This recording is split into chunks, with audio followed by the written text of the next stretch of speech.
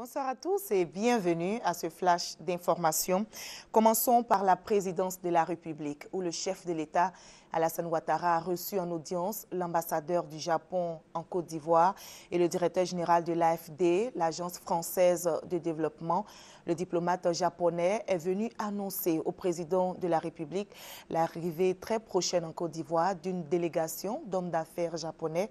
Et avec le directeur général de l'AFD, il a été question du financement du C2D, contrat de désendettement et de développement. Le Premier ministre Daniel Cablan-Duncan visite le site de démonstration et de formation des ex-combattants.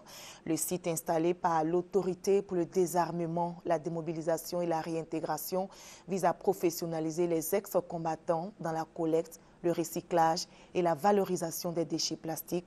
On en parle avec Hugues Vébli. Sur ces machines en plein travail des ex-combattants.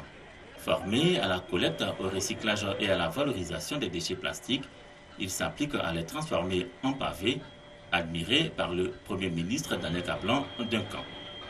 Le site de démonstration et de formation visité par le Premier ministre est une initiative de l'autorité pour le désarmement, la démobilisation et la réintégration des ex-combattants.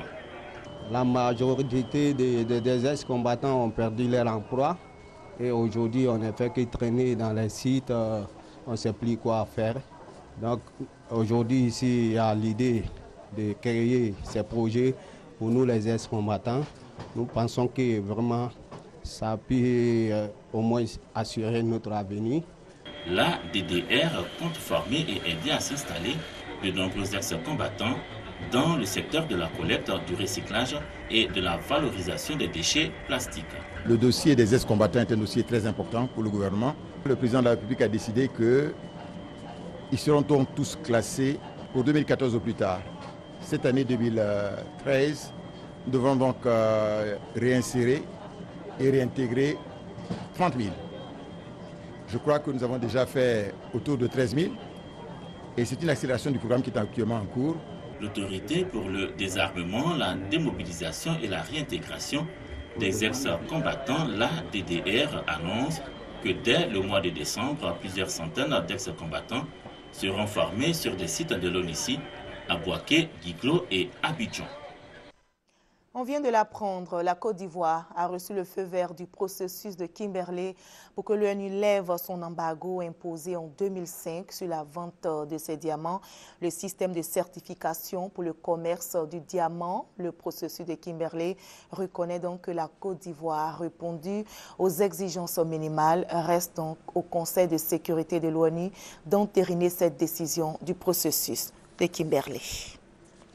Hors de la Côte d'Ivoire en Centrafrique, le président Michel Dia annonce le, rétablissement du couvre-feu levé en octobre à Bangui, la capitale toujours minée par la violence.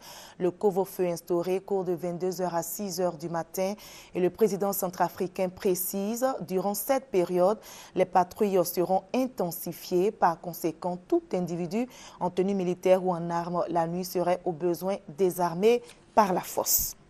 Et le bilan ne cesse de s'alourdir en Lettonie après l'effondrement du toit d'un supermarché hier. Au moins 43 personnes, dont trois pompiers, ont perdu la vie. Une cinquantaine ont été blessées et pour l'instant, les causes de l'accident ne sont pas connues. On sait seulement que le toit du magasin était en travaux et il s'agit de l'une des plus grandes catastrophes qu'a connue la Lettonie depuis 1991. Les secours s'activent pour retrouver les survivants. Et cette autre catastrophe qui a causé des morts, c'est aux Philippines. Le super typhon, selon les autorités, a fait plus de 5200 morts sur son passage. Cette catastrophe naturelle est donc la plus meurtrière de l'histoire de l'archipel. Et en Varsovie, la rencontre de 10 jours sur les changements climatiques débouche sur des désaccords. Les négociateurs ont discuté toute la nuit d'hier pour proposer ce matin un test qui devrait poser les bases de l'accord de Varsovie. L'objectif, bien sûr, est de parvenir à mettre sur la table une feuille de route qui permettra à tous les pays du monde de trouver un accord en 2015 afin de limiter le réchauffement du climat de la planète. Mais les clivages sont encore nombreux et les ONG ont claqué la porte avant la fin de la rencontre.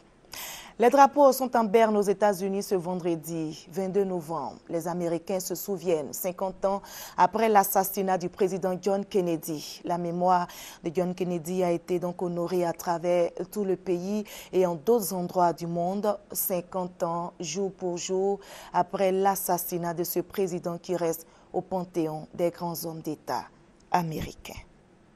Et c'est la fin de ce flash. On se retrouve à 20h. À tout à l'heure. you